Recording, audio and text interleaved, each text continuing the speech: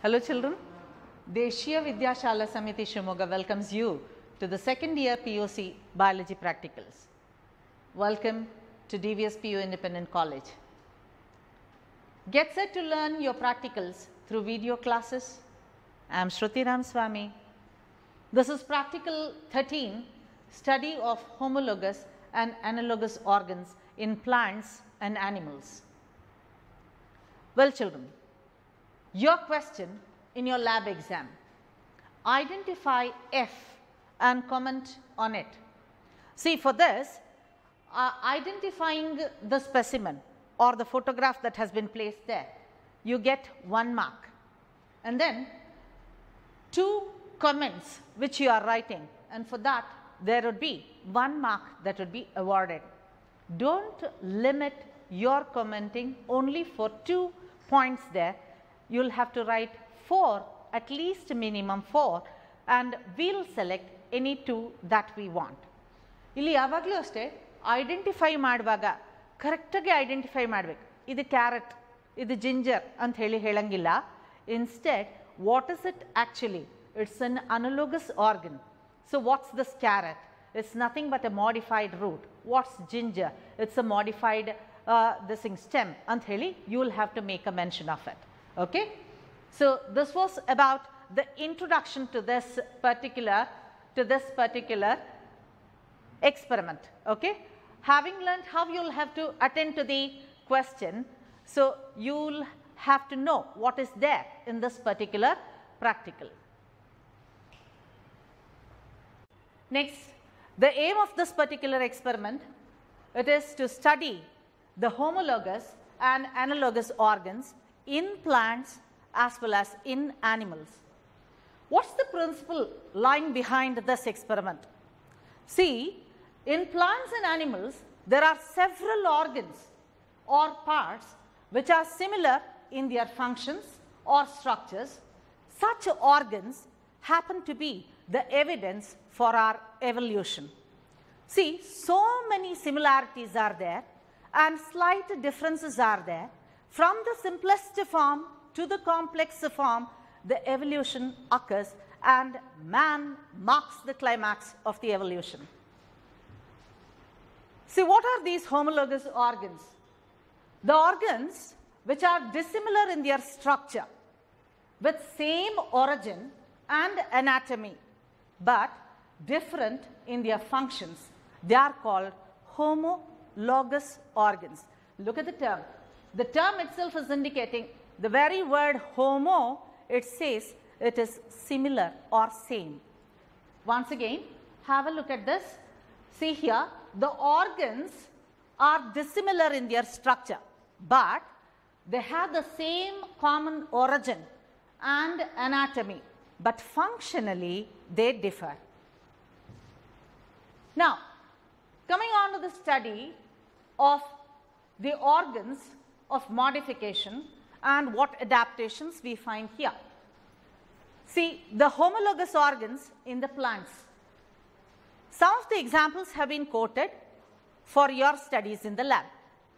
So here tendrils of the vitis and thorns of Carissa, they both originate from the terminal bud itself. They have the common origin, but functionally they differ. Functionally they differ. See, tendrils of the vitis, it may be for support. But here, the thorns of Carissa, they have a different function to perform wherein they provide the protection. Okay? So, both of them, they have the common origin from their axillary bud. Look children, this is the chart that we have in our laboratory. So, this would be presented or placed in the position of F during your examination and you are supposed to comment on it. Next, homologous organs 2 as the example here. See, the organs of modification, it is tendril of balloon vine which can also be called cardiospermum and bulbils of agave. The organ of adaptation, these are modifications of floral buds. Both the cases, they are modification of the floral buds. But the tendril of the balloon vine supports for climbing, but the bulbil of the agave, it helps in vegetative propagation. See, this is the picture.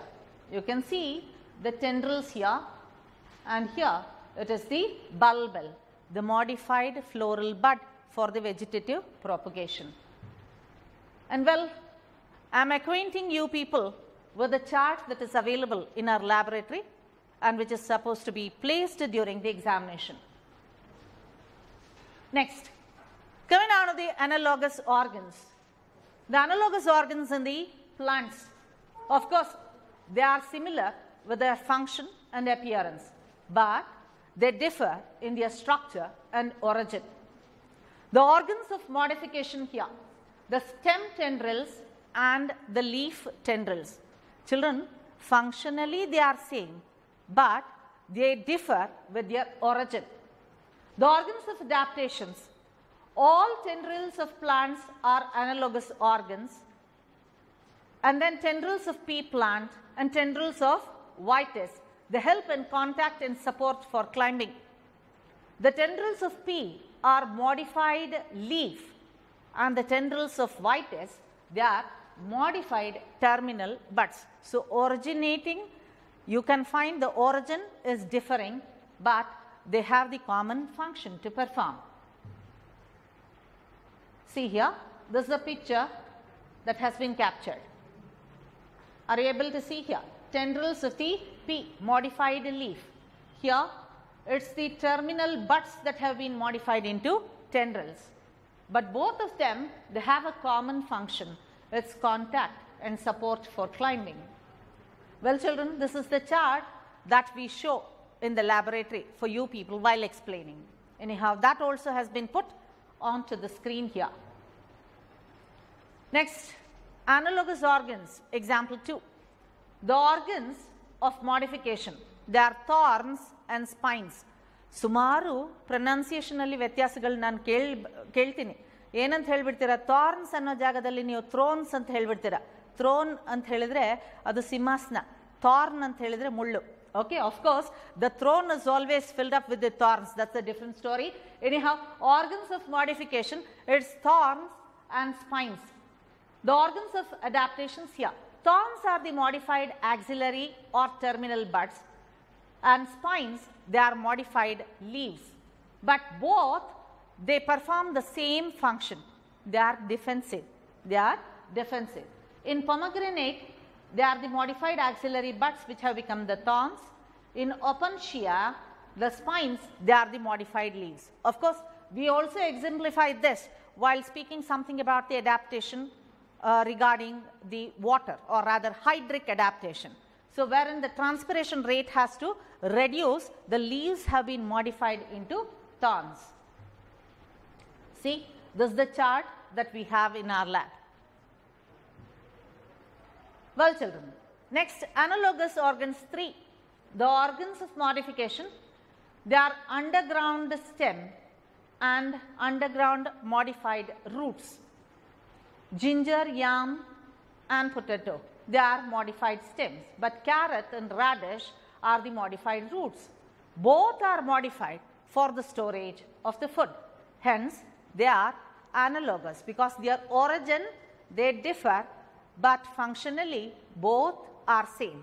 See ginger with rhizome and then the carrot with the conical root. Okay. Next, we shall know the analogous organs in animals. The analogous organs of modification here, organs for flight, the organs for adaptation, the wings of the birds and the wings of the dragonfly. Both are similar in function. They help the organisms to exhibit the flight. But you know, they differ in their origin. The wings of the birds, they have the muscles as well as the bones. Whereas the wings of the dragonfly, they are simply an extrusion of the skin. Okay?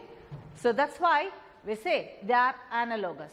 Look the explanation there. Wings of the dragonfly have no bones, whereas the wings of the birds, they are muscular and also have the bones. But both have a common function to perform that is exhibiting the flight. See, this is the photograph that we have in our lab. Well children, analogous organ example 2. So, organs of the mouth. Now here organs of adaptations, the mandible of the cockroach and the mandible of the rabbit. The mandible of the cockroach we call it to be functioning like that of a teeth and the mandible thus the lower jaw of the rabbit. Both of them they are used for chopping the food and grinding it. But they differ in their origin. The mandible of the cockroach is chitinized. It is made up of chitin. What's the chitin? It's a carbohydrate. Okay? And the mandible of the rabbit is bony, made up of the bone stem. But common function, it is to cut and to grind the food. And this is the chart that we have in the lab. Okay. Homologous organs in animals. Anyhow, we don't have any specimen, but still, let me uh, help you know how about this. It's the forelimbs of the vertebrates. See, wings of the birds, forelimbs of mammals or reptiles, they have same arrangement of the bones. But wings, they are used for flight. Forelimbs of the vertebrates, they are used for walking, jumping as well as holding. Hence, they have common origin but differ functionally. That is why we say it is homologous organs. Just look at the bones here. The bone forelimb of the man, cow, horse, whale as well as the bird. They all have the same common origin made up of the same type of the bones, humerus, tibia and then eh, you just see here all the bones they are the same there.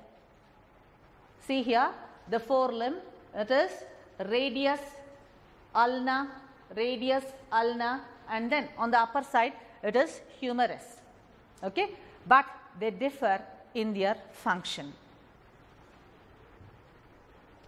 Yes children, that was about homologous and analogous organs. Nature itself is beautiful. Okay? When we just happen to compare the various organisms, see during their journey of the embryonic development, we all share the same features, but slowly we differ and we become complex. That is why I told you man marks the climax of the evolution. Thank you.